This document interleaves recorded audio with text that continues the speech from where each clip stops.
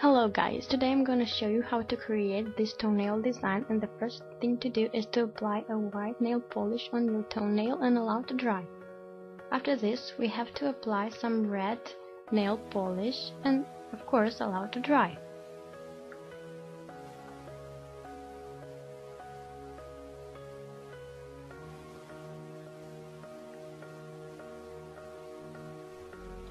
Now grab some black acrylic paint and a detail brush and start drawing the flower, just the way I did. It is very simple to do.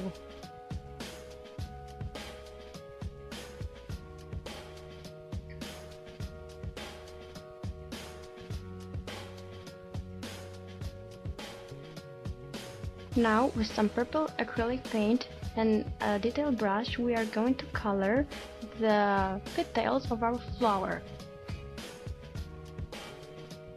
Allow to dry and add some pink, light pink glitter nail polish on the rest of your toes. Then add some purple glitter nail polish on the flower. After this, grab a dotting tool and a black polish and start dotting your nails.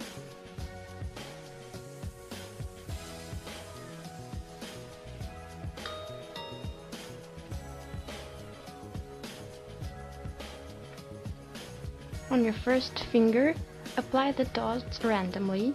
You can also make some bigger, some smaller, just the way you like it.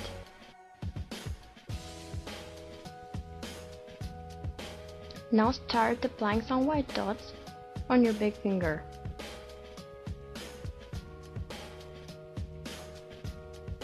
And now it's time for the rhinestones. Let's apply two small yellow rhinestones at the base of the flower just in the corner.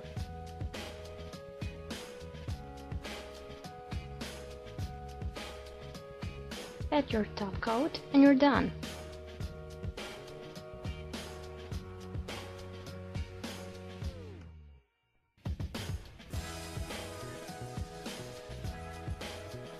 Thanks for watching my tutorial. I hope you enjoyed this design. Bye!